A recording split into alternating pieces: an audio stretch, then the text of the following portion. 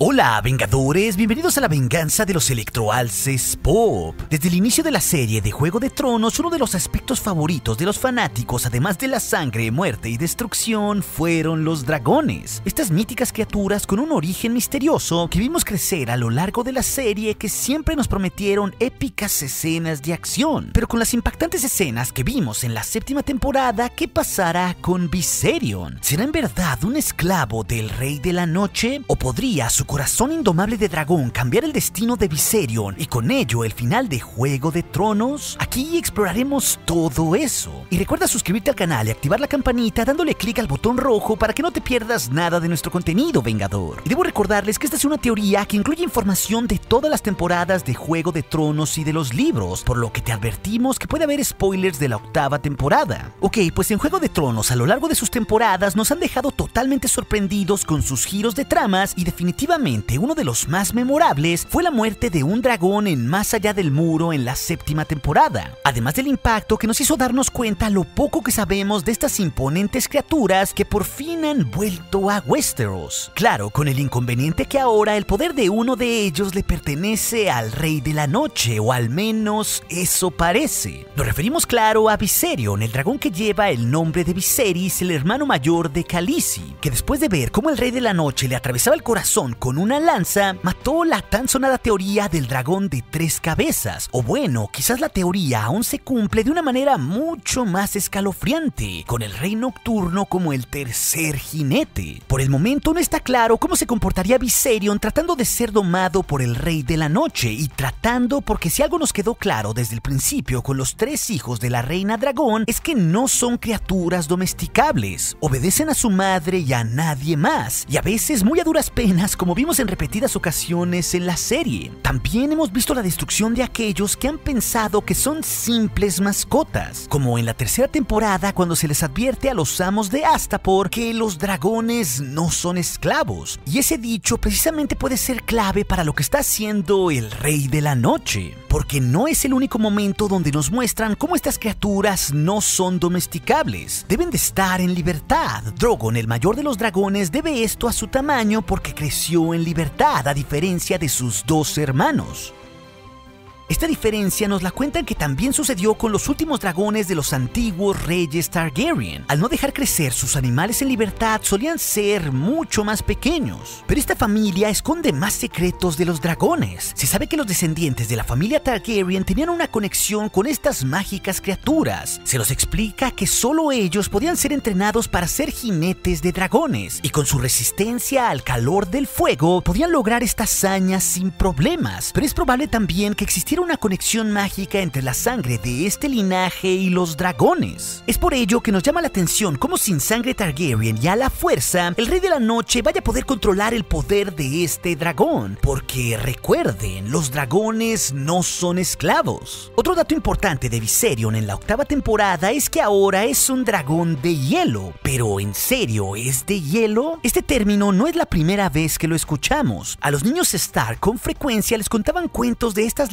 leyendas criaturas, los dragones de hielo. Y esta descripción no se queda solo en leyenda. En el mundo de hielo y fuego, la enciclopedia de Juego de Tronos, también escrita por George R.R. R. Martin, se describió más detalladamente a estas criaturas heladas. Se nos menciona que hay informes de presencia de dragones de hielo sobre el mar templado. Los marineros afirman que son más grandes que los dragones normales, translúcidos y que respiran frío y que pueden congelar a un hombre sólido en medio latido. Otra fuente importante donde se nos describen a los dragones de hielos es en un cuento para niños que escribió el autor que lleva el mismo nombre, el dragón de hielo. Aquí se nos relata la historia de una niña norteña que encuentra un dragón de hielo. En cuanto a esta historia, el propio autor ha insistido que no existe en el mismo universo enloquecido de Juego de Tronos. Pero, ¿qué tan diferentes son? Pues bastante diferente. Un dato importante es que el dragón del cuento lanza hielo tan poderoso para contrarrestar las llamas, y en la serie lanza llamas de fuego azul. Esto ya está confirmado en la serie por los creadores. No es hielo, es fuego azul y por eso el muro cayó.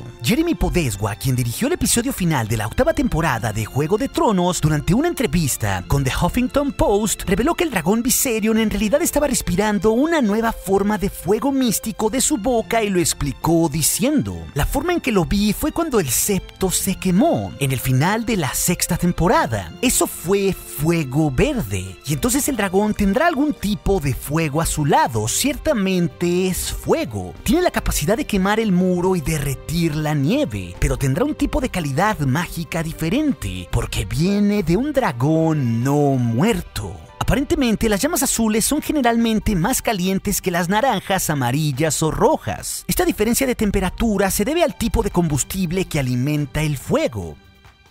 Las llamas rojas son las que producen Drogon y Regal. Por el contrario, las llamas azules de Viserion son mucho más mortales. Es una llama que se calienta en exceso. Y si se trata de fuego por lo que pudo derretir y derribar el muro, ¿podría entonces destruir también a los caminantes blancos? Definitivamente, esta transformación convierte a Viserion en un terrible y poderoso contendiente de la Guerra del Invierno. Tanto vivos como muertos definitivamente sufrirán las consecuencias de enfrentarlo como enemigo. El poder de Viserion es ahora colosal y el control del rey de la noche sobre un dragón no debería de ser tan eficiente. Entonces esto nos deja una posibilidad. ¿Podría de alguna manera Daenerys recuperar a su dragón? ¿Acaso la conversión de los espectros del invierno es reversible? Eso podría ser un interesante giro en la trama, y debemos decirles que efectivamente sí es reversible, porque ya hemos visto a un personaje que logró liberarse del control del Rey de la Noche. En la sexta temporada nos reencontramos con un antiguo personaje más allá del muro, cuando Benjen Stark apareció de la nada para salvar a Bran y Mira. Él nos contó impactantes secretos sobre qué le había sucedido desde que en una expedición de los exploradores de la Guardia de la Noche él desapareció. Para los que no lo recuerdan porque no es un personaje muy recurrente, Benjen es el hermano menor de Ned, Lyanna y Brandon Stark. Se unió a la Guardia de la Noche y se convirtió en un importante explorador, por lo que originalmente Jon Snow pensó en unirse a la Guardia porque quería ser como su tío Ben. Este es otro tío Ben, es el tío Ben de los grandes poderes y las grandes responsabilidades. En fin, poco después de que Jon fue al muro para convertirse en un miembro de la Guardia en la primera temporada, Benjen salió en expedición para buscar a los hombres que desaparecieron en la primera escena de la serie. Luego Benjen también desapareció, solo para que su caballo regresara sin él, y así los cadáveres de dos de sus compañeros resurgen más tarde como caminantes blancos. Esto claro llevó a las teorías de que tal vez Benjen sufrió un destino similar, pero no fue así.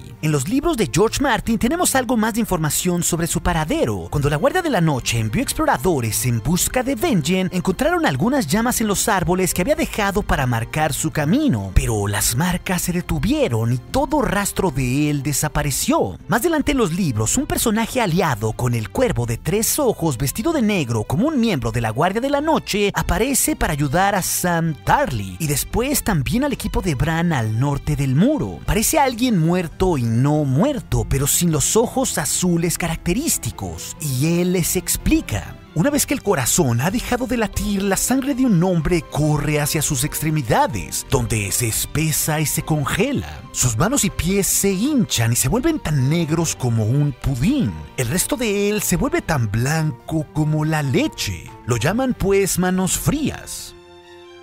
Oculta su rostro con una capa, pero muchos comenzamos a preguntarnos si no era el tío Benjen. En la serie se nos revela que esta teoría es correcta, al menos en la serie Benjen tomó la historia de Manos Frías, y aquí es donde se nos cuenta un poco más de su historia. Benjamin Stark fue apuñalado en el estómago con una espada de hielo por un caminante blanco, pero los hijos del bosque intervinieron metiendo una hoja de vidriagón en su pecho para evitar que la magia se apoderara de él. Por ello Benjen comenzó a trabajar y ayudar a los niños del bosque y al cuervo de los tres ojos. Pero con esta información del origen de Benjen, ¿se podría hacer lo mismo con un dragón como Viserion? Para ello se necesitaría vidriagón, y justamente el vidriagón es el elemento que se encontraron en las minas de Roca Dragón en la temporada 7 y que Daenerys y Jon Snow se encargaron de llevar al norte. El vidriagón es un elemento con el que los primeros hombres fabricaban armas, incluidas dagas, puntas de flechas y de lanza. Estas armas son una de las pocas debilidades conocidas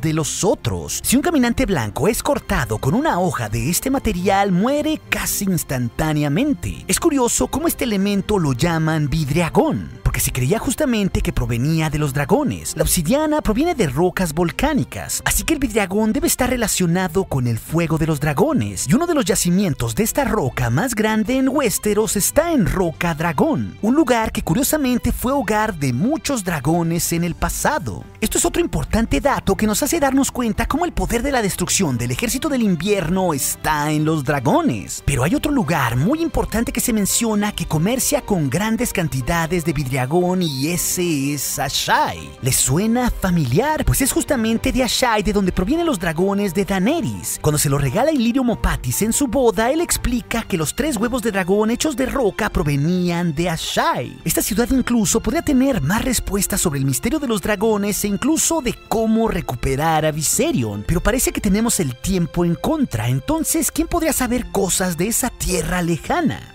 Pues aquí, siguiendo estas pistas, parece que todo resultaría de nuevo en la sacerdotisa roja Melisandre, quien justamente ella es de Ashai y en la séptima temporada anunció que regresaría a Westeros para el final. Nosotros creemos que ella traerá de regreso cosas importantes a Westeros, entre ellas el secreto de cómo con Vidriagón, al igual que sucedió con Benjen Stark, podría regresar a alguien del hechizo de los caminantes. Y así Viserion podría regresar con su madre Daenerys y tener a su lado a esta monstruosa fuerza destructora de llamas azules. Tal vez así esta sea una de las formas como a final de cuentas las posibilidades cambien hacia su lado y puedan vencer al ejército del Rey de la Noche. Puede ser que esto que nos hicieron creer con la muerte de un dragón se transforme. Y ahí está la clave, porque a final de cuentas el dragón sí podía tener tres cabezas. Incluso especulando más allá, Jon Snow podría ser el encargado de montar a Viserion, un dragón con el que tiene muchas cosas en común como volver de los muertos. Además,